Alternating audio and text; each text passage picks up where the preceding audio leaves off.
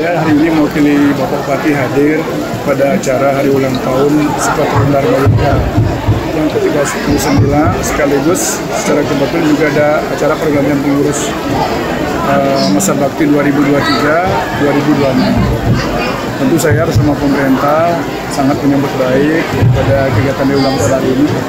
Karena bagaimanapun juga kan uh, seperti itu adalah generasi penerus bangsa kita. Dan memang sudah saatnya pemerintah itu hadir untuk memotivasi dalam rangka untuk bagaimana untuk pembangunan manusianya.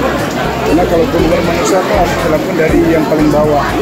Nah kita persiapan dari sekarang dari organisasi seperti ini diharapkan nanti anak-anak muda kita, Yohana kita memahami apa yang harus dilakukan ke depan ini karena bagaimanapun juga di tongkat estafet itu kan ada di, di Yohana Nah, momentum hari ulang tahun ini tentu saya berharap tidak hanya sampai kita merayakan hari ulang tahunnya, tapi secara substansi adalah bagaimana kita melakukan kontemplasi untuk bersama-sama untuk membangun mental manusianya, karakternya.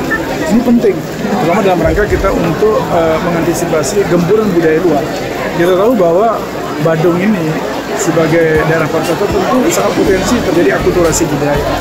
Nah, oleh karena itulah pembangunan mental dari sekutunya diharapkan akan mampu setidaknya di awal untuk bagaimana kita membangun uh, generasi muda yang kuat, terutama dalam rangka untuk mengantisipasi hal-hal yang kita tidak inginkan.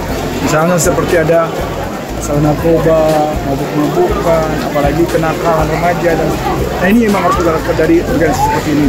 Dan tentu saya berharap dengan dengan perhatian pemerintah yang cukup besar oleh uh, oleh pemerintah Badung kepada generasi muda yang mulai sekarang saya berharap sebetulnya juga membuat program-program yang sejalan linear dengan apa yang menjadi program pemerintah terutama dalam rangka membangun mental karakter generasi muda di Badung.